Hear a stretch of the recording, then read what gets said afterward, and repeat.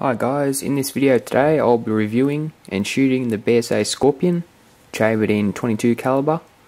There will be two parts to the video, the first part consisting of the actual review, then the second part will be putting the gun through its paces. So let's get started. As you can see, the gun has a nice wood stock, making it ideal for hunting or target shooting. The total length of the gun is 36.5 inches making it a nice, short, versatile unit for the average hunter. Only weighing at 3.5 kilos makes it an ideal gun to shoot for long periods of time without making the hunt or shoot uncomfortable. The slick bolt action makes it so much easier not only to get a follow-up shot if needed, but facilitates easy action cocking and loading. Very much pulling straight back and forward which then puts another pellet in the breech. Fairly simple. With BSA precision rifling for match accuracy, it comes fully floated with a highly effective muzzle brake as standard.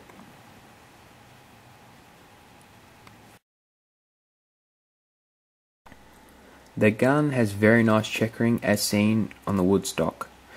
Not only durable and comfortable to shoot, but the butt pad is very nice. It's not really needed on PCP air guns as there's really no recoil at all.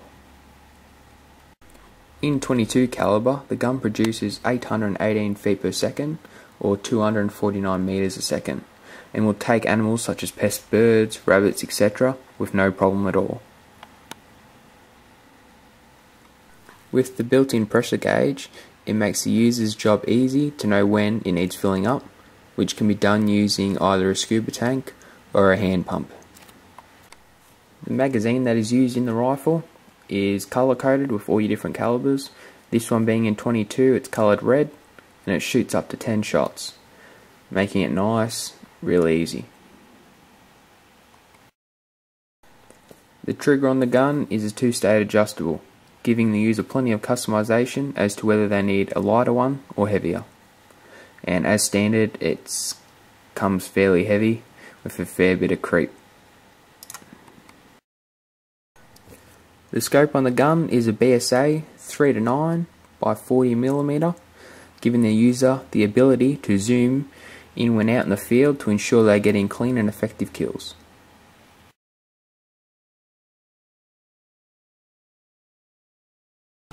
So these are the pellets I'll be using. They are JSB Exacts 16.1 grain and I'll be shooting a distance of 30 meters.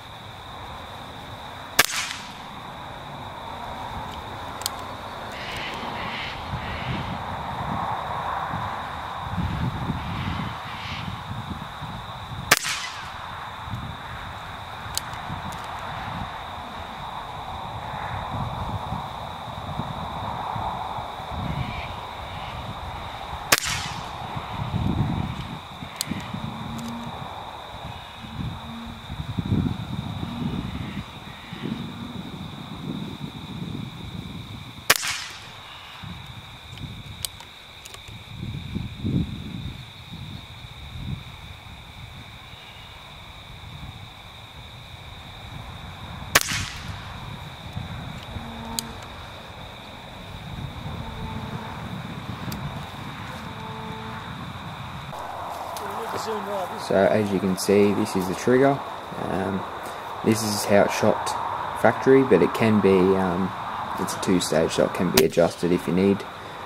But um, yeah, for my personal preference, I would like it adjusted, but just for the review, it's stock standard.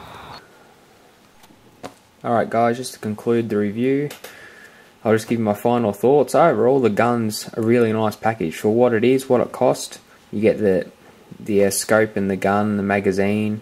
Um, you either choose a scuba tank um, to fill it up or a hand pump. In this case, I chose the hand pump.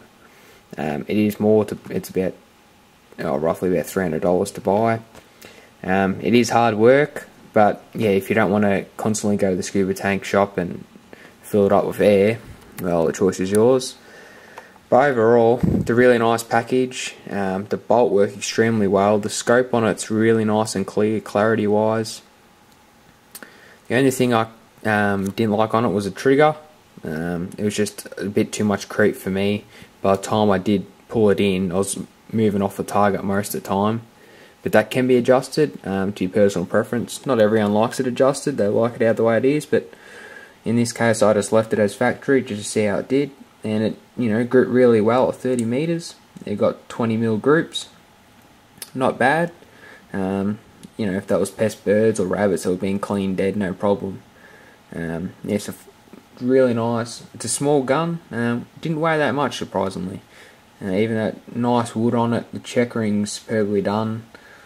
Made in England, so it's a good quality gun. If you're looking for a nice new air gun in 22 caliber, you can get it in 177 or 25. Um, they make it in synthetic as well. So yeah, head over to uh, victorianarms.com.au. Um, there's also Bakels. We sell Daystates, BSAs, and Gamo. But yeah, I'll put the link of the website in the description and um, yeah, have a look, see what you reckon.